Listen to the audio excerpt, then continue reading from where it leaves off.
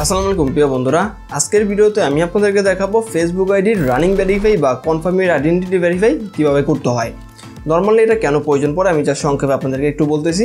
অনেক সময় দেখা যায় যে আমাদের ফেসবুক অ্যাকাউন্ট রেস্ট্রিক্টেড করে দেয় বা ওয়ার্নিং চলে আসে আমাদের আইডিতে আবার এমন হতে পারে, বিভিন্ন সময় বিভিন্ন কারণে আমাদের আইডিটা সাসপেন্ড হয়ে যেতে পারে।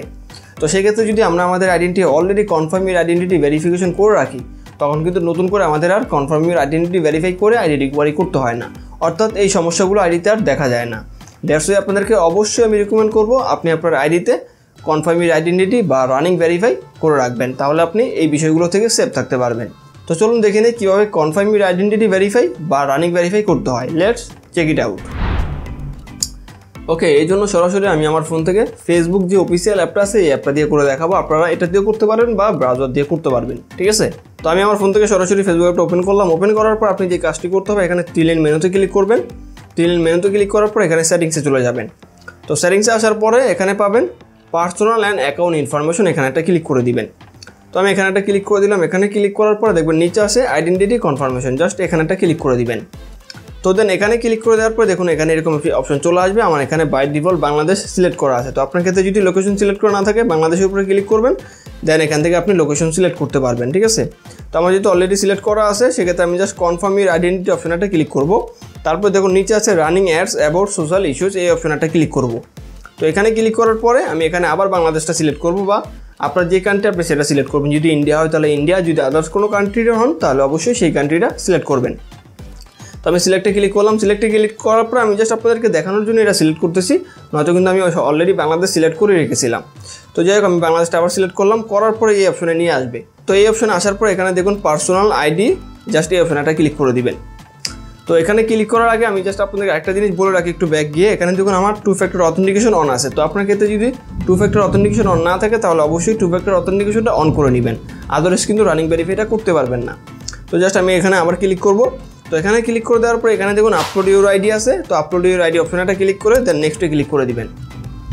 তো নেক্সটে ক্লিক করে দেওয়ার পর এখানে সোমরে ক্লিক করবে, এখানে অনেকগুলো অপশন আপনি পেয়ে যাবেন মানে আইডেন্টিটি সাবমিট দেওয়ার অনেকগুলো ডকুমেন্টের অপশন পেয়ে যাবেন। একটা হচ্ছে passport driving licence national ID card সহ বিভিন্ন কার্ডের অপশন এখানে আছে। তো আপনার ক্ষেত্রে যেটা আছে, সেটা আপনি দিয়ে দিবেন।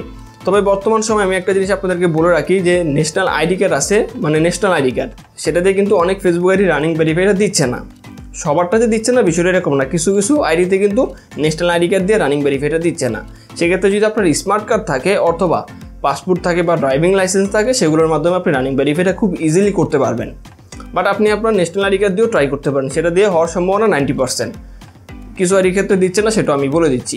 তো আপনার যদি স্মার্ট কার্ড বা এনআইডি কার্ড থাকে, সেক্ষেত্রে আপনি ন্যাশনাল আইডি কার্ড অপশনটা সিলেক্ট করবেন। সিলেক্ট করার পর নেক্সটে ক্লিক করবেন। তো নেক্সটে ক্লিক করার পরে এখান থেকে ডিরেক্ট স্ক্যান করে ছবি তোলার অপশন আসবে। অর্থাৎ আপনি আপনার ন্যাশনাল আইডি কার্ডটা হাতে নেবেন, হাতে নিয়ে ডিরেক্ট স্ক্যান করার অপশন আসবে। আমি আপনাদেরকে দেখাচ্ছি। জাস্ট আমি যদি গেট স্টারে ক্লিক করি গেট স্টারে ক্লিক করার পর এখানে যদি আমি অ্যালাউতে ক্লিক করি দেন আবার অ্যালাউতে ক্লিক করলে যেরকম অপশন আসবে। অর্থাৎ আমাকে স্ক্যান করতে হবে আমার এনআইডিটা যেহেতু এই এনআইডিটা আমার হাতে নেয়, সেক্ষেত্রে আমি এভাবে দিব না, আমি অন্যভাবে দিব। তো আমার মতো যদি আপনার হাতেও এনআইডি কার্ডটা না থাকে বা স্মার্ট কার্ড না থাকে, সেক্ষেত্রে আপনি সেটা ছবি আসে তো সেক্ষেত্রে আপনি কীভাবে সাবমিট দিবেন আমি দেখাচ্ছি। এখানে যে I don't have any of this এখানে ক্লিক করবেন। এখানে ক্লিক করার পর এখানে আপলোড অপশনে ক্লিক করবেন। তো আপলোড অপশনে ক্লিক করার পরে এখান থেকে আপনার স্মার্ট কার্ড বা যেটাই আছে, সেটা আপনি আপনার গ্যালারি থেকে নিয়ে আসবেন। তো আমি আমার গ্যালারি থেকে নিয়ে আসতেছি। তো আমি দুইটা ডকুমেন্টই সেম মানে দুইটাই আমার হচ্ছে স্মার্ট কার্ড আমি স্মার্ট কার্ড দিয়ে কাজটা করতেছি। আপনার যদি থাকে তাহলে আমি রিকমেন্ড করব স্মার্ট কার্ড দিয়ে কাজটা করবেন, তাহলে খুব ইজিলি রানিং ভেরিফাইটা হয়ে যাবে। তো জাস্ট আমি দুইটাই কিন্তু সেম ফটো নিয়ে এসেছি, তারপর এখানে নেক্সটে ক্লিক করে দিব।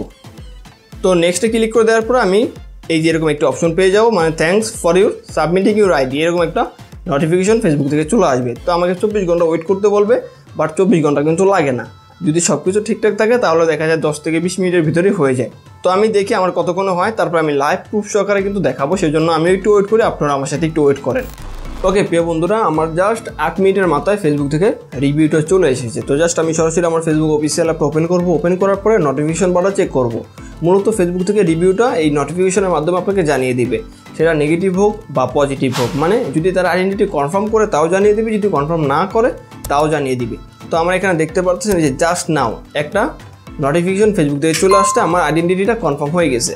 তো আমি যদি জাস্ট এখানে একটা ক্লিক করি এখানে ক্লিক করলে সরাসরি আমার এখানে নিয়ে এসেছে। এই যে দেখুন কনফার্ম মানে বাংলাদেশি এবং এডিটা যে আমার মানে আমি যে এডির মালিক বা আমি যে অথেন্টিক সেটার প্রুফ হিসাবে কনফার্ম হয়ে গেছে। আর এখানে নিচেও দেখাচ্ছে personal ID your ID is confirm তো আপনার ক্ষেত্রে যদি আপনার আইডেন্টিটি কনফার্ম হয় বা রানিং ভেরিফাই হয়, তাহলে এখানে এই যে ইউর আইডি ইজ কনফার্ম দেখাবে। তখন আপনি বুঝে যাবেন যে আপনার রানিং ভেরিফাইটা হয়ে গেছে। তাও আমি আপনাদের সুবিধার্থে একটু জাস্ট টিলেন মেনুতে ক্লিক করব সেটিংসে ক্লিক করব। তারপর এখানে পার্সোনাল অ্যান্ড অ্যাকাউন্ট ইনফরমেশনে ক্লিক করব। তারপর আইডেন্টিটি কনফার্মেশনে ক্লিক করব। ক্লিক করলে এই যে দেখুন, এখানে কিন্তু কনফার্ম চলে এসেছে। তো আপনাদের ক্ষেত্রে কিন্তু এখানেও কনফার্ম চলে আসবে। তো অনেক সময় এরকম হয় যে আপনি একবার সাবমিট দিলে যে নেগেটিভ দিবে। তো কী করবেন আপনি?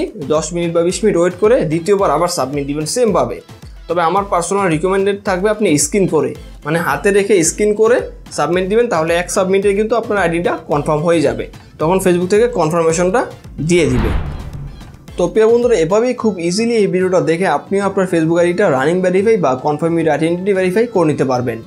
তো ভিডিও যদি ভালো লেগে থাকে ভিডিওতে একটি লাইক দিবেন আর চ্যানেলে নতুন হলে চ্যানেলটি সাবস্ক্রাইব করবেন, পেজে নতুন হলে পেজটি ফলো দিয়ে ভিডিওটি শেয়ার করে দিবেন। আর একটা ছোট্ট ইনফরমেশন দিয়ে রেখে, আমরা নর্মালি ফেসবুক আইডি রিকভারি কাজগুলো করে থাকি। আপনার ফেসবুক সংক্রান্ত যে কোনো সমস্যার সমাধান আমাদের দিয়ে আপনি করাতে পারেন। তবে এটা হচ্ছে আমাদের পেড সার্ভিস তো আমাদের সাথে যোগাযোগ করার সমস্ত মাধ্যম এই ভিডিওর ডিসক্রিপশন বক্সে পেয়ে যাবেন। অর্থাৎ যারা আমাদের ইউটিউবের দর্শক আছেন তারা আমাদের ইউটিউবের এই ভিডিওর ডিসক্রিপশন বক্সে গেলেই মূলত আমাদের হোয়াটসঅ্যাপ নাম্বার বা আমাদের সাথে যোগাযোগ করার বিভিন্ন মাধ্যম পেয়ে যাবেন।